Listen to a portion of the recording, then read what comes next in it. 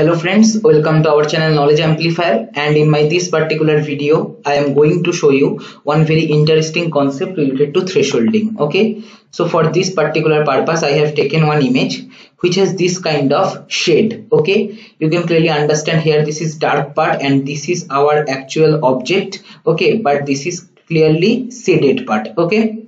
Now suppose we want to use global thresholding method and we want to extract the binary object so first of all i am plotting the histogram of the original image. So let me just show you the histogram of this. Okay and we will be getting histogram like this.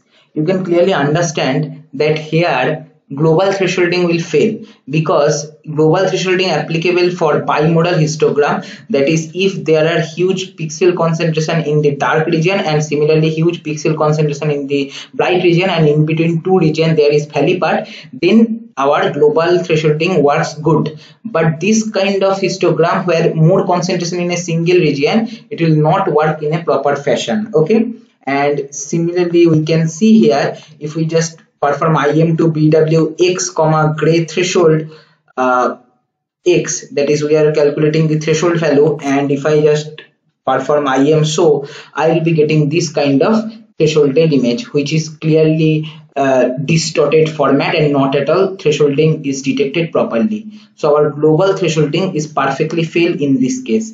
So what we will do, the simple idea is apply local thresholding. And in local thresholding what we basically do in local thresholding this is our original image. We just divide the image into small small parts and in those small parts we apply our global thresholding technique okay? That is after dividing into small small part in those small small parts we will apply our previously used thresholding technique right?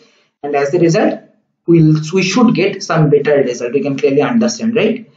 So here what i have done here i have first calculated the size. I have created one similar uh, empty uh, zero element matrix of same size. And then I have divided my columns that is C is the number of columns into 10 size okay? Taking floor so that I will get only integer okay? And then I will create one range. So 1 to C column I am dividing into 10 parts and similarly uh, this is our starting of our region. For ending of our region what we will do suppose consider this one. Okay. Uh, sorry. Let me just run this particular part of the code. So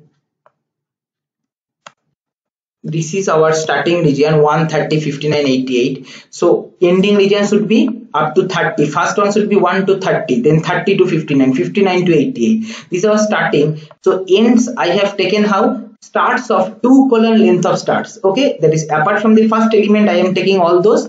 And the last element i am putting the value of column. That is last it will take. Okay? So if i just run this particular part c start starts and ends. Okay see how I have divided my regions 1 to 31 region 30 to 59 one region 59 to 88 one region 88 to 117 one region. Like that locally I have divided okay? Then what I am doing? See then I am plotting my regions whatever I have divided. So I am so x and then hold on. And then for i equal to 1 colon 10 I am plotting all those vertical lines. I am actually not dividing rows only columns I am segregating.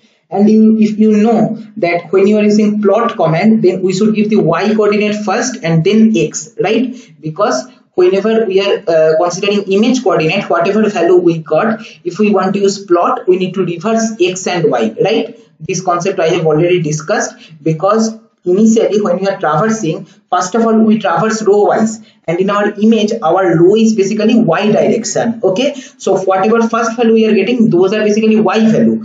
And generally using plot the y value should be second right? So like that x and y always should be swapped okay? So here if i just run this particular part of the code you can see we have basically our segre segregated our image into these regions. Now in each of these small small regions i will be applying global thresholding okay? So what i am doing for i equal to 1 colon 10 temp equal to x of colon that is all rows and columns I am taking from start to end of that particular index i okay and then I am applying IM to BW in that region only using gray threshold. Okay that is nothing but using Otsu uh, method. Okay and then giving end. Okay and finally showing the output.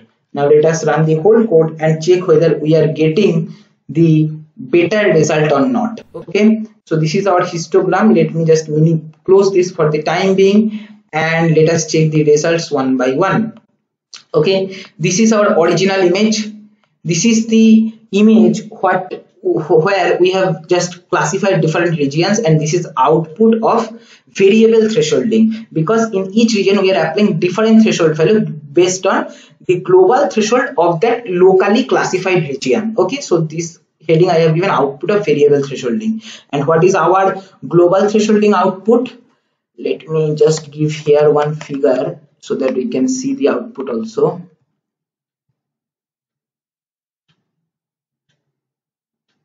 Yes. Minimize the histogram.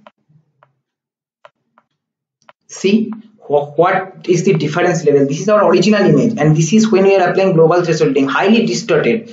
But when we are segregating our original image into small small parts and then applying global thresholding in each region and uh, again at the end we are accumulating all the small region result and making one complete image. See perfectly we are getting this one okay? This is also called variable thresholding or also termed as local thresholding okay? Local thresholding means we are basically uh, whole image we are dividing into small part and applying global thresholding in that local region. So it is also termed as local thresholding.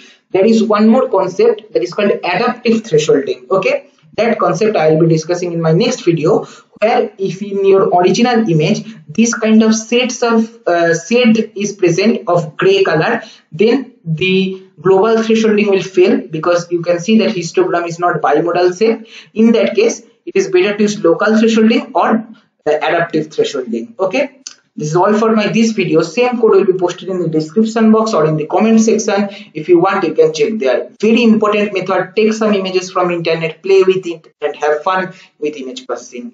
Thank you for watching